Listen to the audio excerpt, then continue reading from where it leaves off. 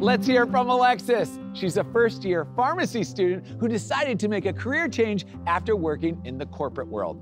Midwestern University pharmacy faculty and fellow students welcomed Alexis into their community and gave her the life balance she was looking for. Tell us all about it, Alexis.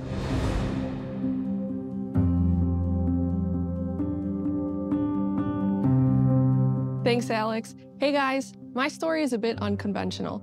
After I graduated college with a bachelor's degree in finance, I worked in the corporate world for five years and realized cubicle life wasn't for me.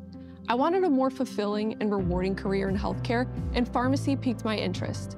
I applied to Midwestern University's College of Pharmacy, and when I got my acceptance call, I was elated. Being a bit older and wanting to get back into the workforce as soon as possible, Midwestern's three-year program was a huge selling point for me.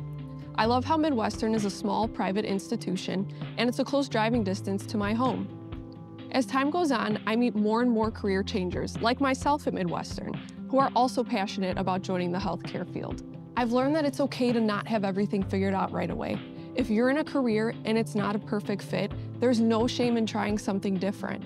Midwestern has given us that opportunity and gives us the resources to succeed in our chosen field. Transitioning to a graduate program was seamless. Midwestern prioritizes students balancing their personal lives and school.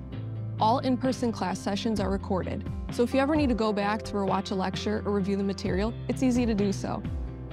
No matter where you are in your journey, Midwestern offers so many opportunities to explore different aspects of your field.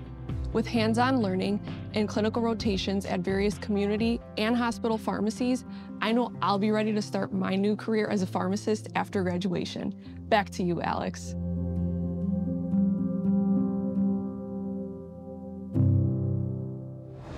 That's a great story, Alexis. Proof that it is never too late to make a career change, especially if that change involves a true passion for wanting to help others something that is quite common among pharmacists.